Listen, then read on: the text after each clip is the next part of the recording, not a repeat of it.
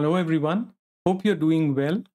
In this video, I will demonstrate how plugins can extend the default capabilities of Sigil and help you quickly deal with some pesky and time-consuming issues in ebook creation. I will demonstrate where to find Sigil plugins and how to install and use them in Sigil. And just to get you started, I will introduce you to three useful plugins which can replace simple quotes with smart quotes import a bibliography from Zotero, and import Word docx documents directly into Sigil. So let's begin.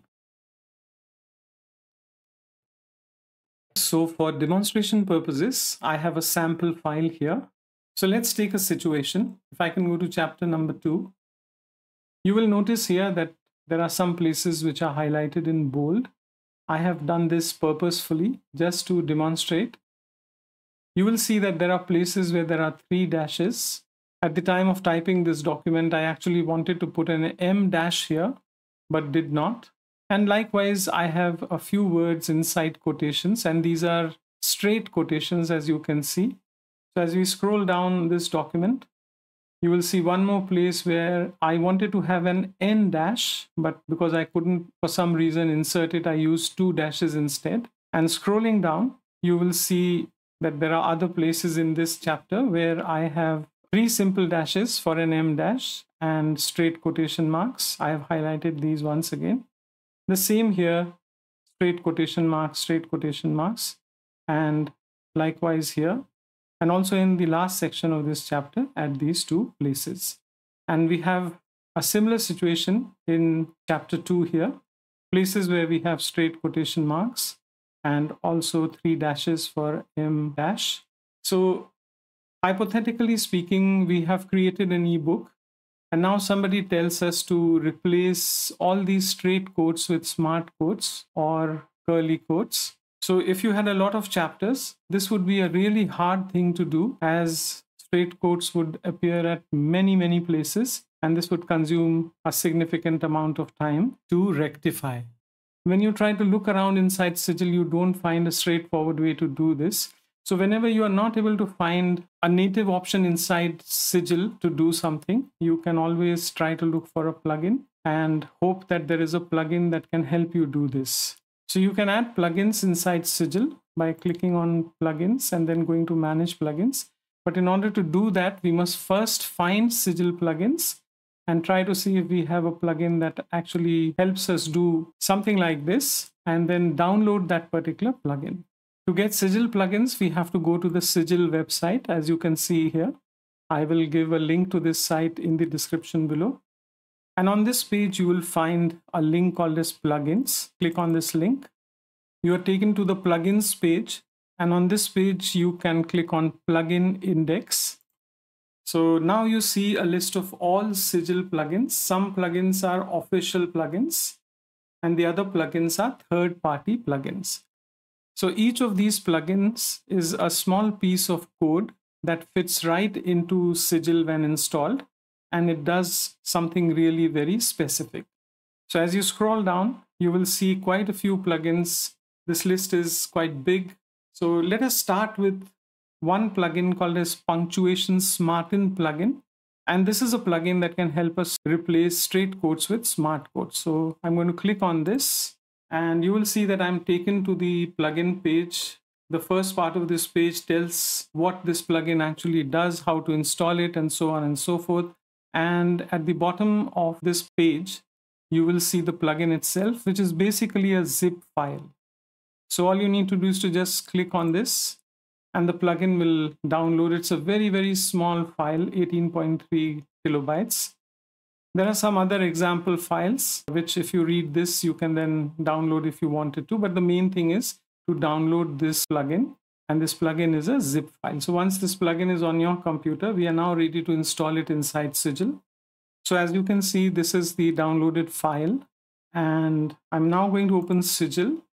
And to install this plugin, I'm going to plug in manage plugins and then I'm going to come here and click on add plugin.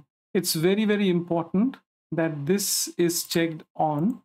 This must be checked on. Use bundled Python. This is an important thing. By default, it is checked on. Just eyeball it and make sure that it is checked on. Just go ahead and click on add plugin and then just click on the plugin zip file that you have downloaded and then go ahead and click on open and then go ahead and click on OK. And the plugin is now installed and this plugin becomes available from the plugin menu itself. Just click on this and you will now see a new entry here and it's categorized under edit. So all the plugins that fall under the editing category will appear here. So we are going to come here and expand this and you will see the punctuation smarten plugin. Just click on this and this opens up the punctuation smarten plugin. And all that you need to do is to just make sure that the educate quotes is checked, which is by default. Just come here and choose one of these. In this particular case, inside my HTML document, I have used three dashes for an M dash and two dashes for an N dash. So I want these to be replaced. So these punctuations will be replaced with proper M dashes and N dashes. And that's just about it. And the files in which you want these changes to happen. If you have more files, you can select all of them and then just simply go ahead and click on process. So when you do this, it comes back and says changes made to chapter 2.xhtml, changes made to chapter 3.xhtml, and the status is success. I'm going to come here and click on OK. And you will see that in chapter 2, all these straight quotes have now been replaced with smart quotes and all the places where I had my three dashes for an M dash, they have been now replaced by the proper M dash symbol. And as we scroll down, you will see that the two dashes that was used to indicate a range, I wanted a proper N dash here. So this has been replaced with the proper N dash character. At all places where we had straight quotes, they have been replaced with smart quotes. And the same has also happened in chapter 3 so you will see that all these straight quotes have been replaced with smart quotes. So this is a really neat plugin and it's called as punctuation smarten and once you have installed it it becomes available through the edit menu punctuation smarten so let's try to load another plugin so you'll notice that in this book, I do not have a bibliography, but I have a bibliography in another software that is Zotero. So let me just open Zotero. Now Zotero is a free and open source reference manager software. I will include a link to this in the description below. So one of the great things about Zotero is that as you browse the web, it has extensions for all browsers and you can directly capture references into Zotero as you browse the web. So I have a few references here for my ebook, and I would like to bring them inside Sigil as a separate chapter, nicely styled, complete with links and everything. So can I do this? The short answer is yes, but we have to go and download a plugin for Sigil. So let's head to the Sigil plugins website and let's try to see if we can find a plugin for Zotero there. So this is our Sigils plugins page. And as we scroll down, we can see quite a few plugins. You'll have to read what each plugin does and try to see if whatever you are trying to do can actually be achieved by any of these plugins. So as we scroll down, you will see quite a few plugins. Some will help you convert it into a PDF and so on and so forth. By the way, there's another plugin called as Punctuation Dumbin, which does the opposite of Punctuation Smarten if you had smart quotes, it'll convert it into non-smart equivalents. So for the present case, importing a bibliography from Zotero, let's scroll down and right at the very end, you will find a plugin called as Zotero Refs Import. And we are just going to go ahead and click on this. So this tells you about the plugin, how to install it. And right at the bottom is the plugin itself. So you can click on this and you can see here that it's now on my computer inside my folder. So I'm now heading back to Sigil and installing this plugin. So I'm inside Sigil. I'm going to repeat the same process once again, plugins, manage plugin, and then go and click on add plugin. And this time around, click on the Zotero refs import zip file. This is the plugin file. just click on it and click on open and the plugin comes here in this box. Just go ahead and click on OK. Now when you click on plugins, you will find that in the edit section, the Zotero Refs import plugin is also showing up and we are going to work with this plugin. So now that we have this plugin installed, the Zotero Refs import plugin, we can now head back to Zotero and export the reference file and then bring it inside Sigil using the plugin. So I've opened my Zotero ebook references and I can select one or a few pressing control and click or the whole block of references by clicking on the first one, then shift and clicking on the last one. Once I have all my references selected, just right click and go ahead and choose create bibliography from items.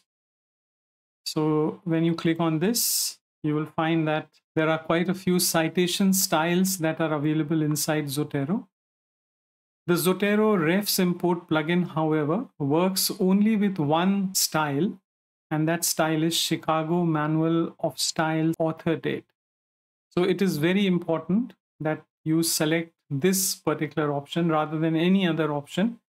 Make sure that bibliography is checked and also make sure that we are saving as HTML.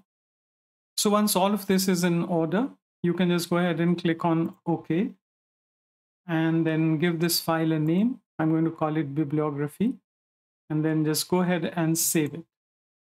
So we have exported this as an HTML. So that's all that we need to do from the Zotero side. Now let's head back to Sigil and import this bibliography. So now what we need to do before we import the bibliography in is that we need to come and right click on this text folder and then create a blank HTML file. So just click on this and you will now see that there is a blank HTML file. We can rename this as bibliography. So we have this file, make sure that this is selected and we are now all set to bring in our style references. So we'll go to plugin, edit, and then click on this plugin, Zotero Refs import and then just simply go ahead and point to the file that you had exported from Zotero and click on open. So when you do this, you are shown a small dialog and by default, you want to have everything that you have imported. Just in case if you wanted to avoid something, you can check that. But I'm going to go ahead and just simply click on OK. And you will now see that all those references are part of your bibliography inside Sigil. Not only they are maintaining the Chicago Manual of Style format, all links are clickable. You will also notice that they are nicely numbered. You can see that they are numbered from 1 to 8. So we have successfully imported references inside Zotero in Sigil using the Zotero Refs import plugin. So the last plugin that I want to demonstrate in this video is a plugin that helps you import docx Word files directly into Sigil. I have this file right here. This is a Word file, and I wanted to import this file inside Sigil. So there's no direct way in which I can do this unless I first open this file inside Word, save my output as HTML, and then bring in those files inside Sigil. Now to import this directly inside Sigil, we can take the help of a plugin. So let's head to the Sigil's plugin page.